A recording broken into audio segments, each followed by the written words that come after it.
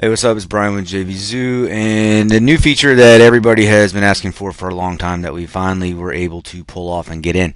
Uh, it's going to allow you to segment lists on the affiliate side, basically, for those who bought a product from you as the affiliate. Uh, they're already on your list anyway, so there's no reason why you shouldn't be able to segment them that way. So all you got to do is go to your approved products under the affiliate tab. Uh, it will then take you to the screen where you can get all your links.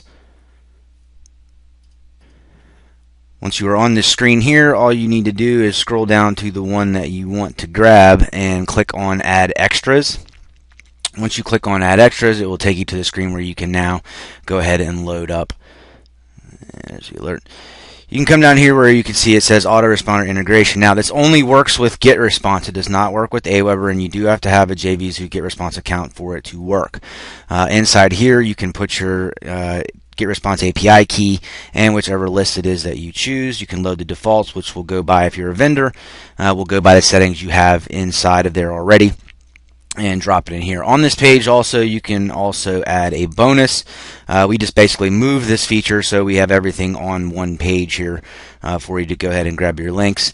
So now when somebody purchases through your affiliate link, it will automatically add them to whatever GetResponse list that you have. Again, this only works with GetResponse accounts that are through JVZoo.